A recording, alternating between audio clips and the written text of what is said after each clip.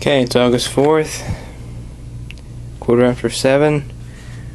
Looking at a Lauson TLC. I picked this up at uh, the Jacktown Swap Meet in May.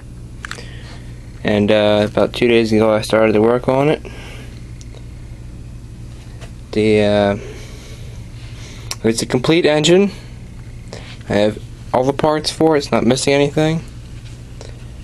Uh, Got spark no problem. Just had to uh, clean the points, and that thing fires great. I, uh, I noticed it was quite low on compression. There was practically none when I got it, so I figured I'd pull the head off and do the valves. I found some serious piston slop.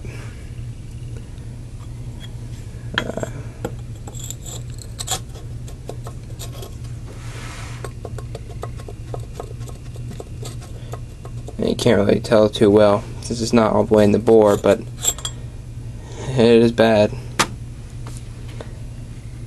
Also, when you crank the engine over, just turning it by hand, you can hear and feel a lot of mechanical clanking, a lot of uh, loose fitting parts on the inside.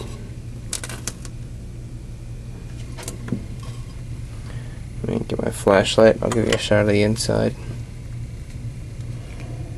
It's pretty nasty in there.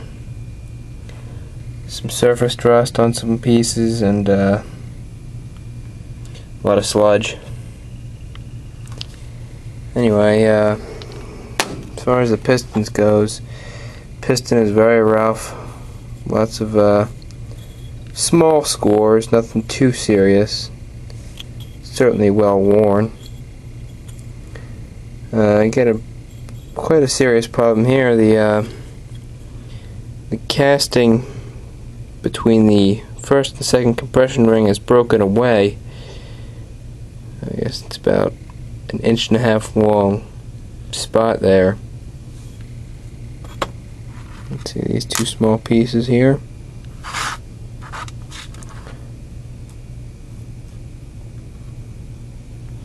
Actually, the aluminum of the piston away. So this piston is going to be unusable. Also, the wrist pin has very considerable play in the piston as well.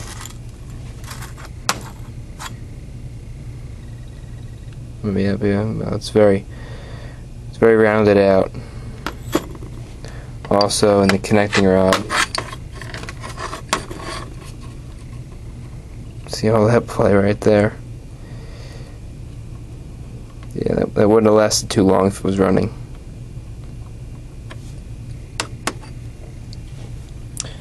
The uh, connecting rod had a lot of side to side play on the crankshaft.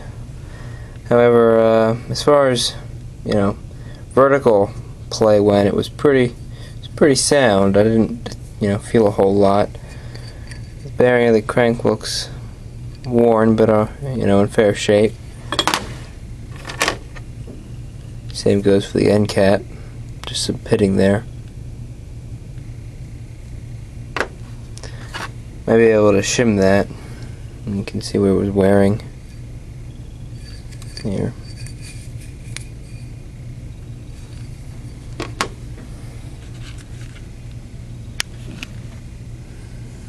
But uh, if I can have this connecting rod bored out and a new wrist pin made, I should be able to save it. As far as the piston goes,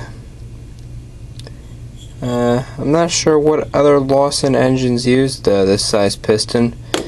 If they're common, I'm not even sure what the, the bore of this engine is. I guess it's maybe two, two and a half inches, I would say.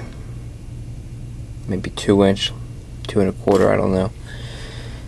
Um, other than that, the valves weren't actually that bad. They were they were dirty and you know weren't sealing well, but they're not pitted or anything, and uh, they're not very loose in their valve guides. So the thing is, there's and their PTO bearing. There's some play as well there. might as well replace that. A ball bearing. Um, same on the mag side. It's a ball bearing, which is nice. So, keep you updated on it. If anybody uh, has had any experience with these TLCs and knows uh, of a piston that I can swap out, uh, I'd like to hear it.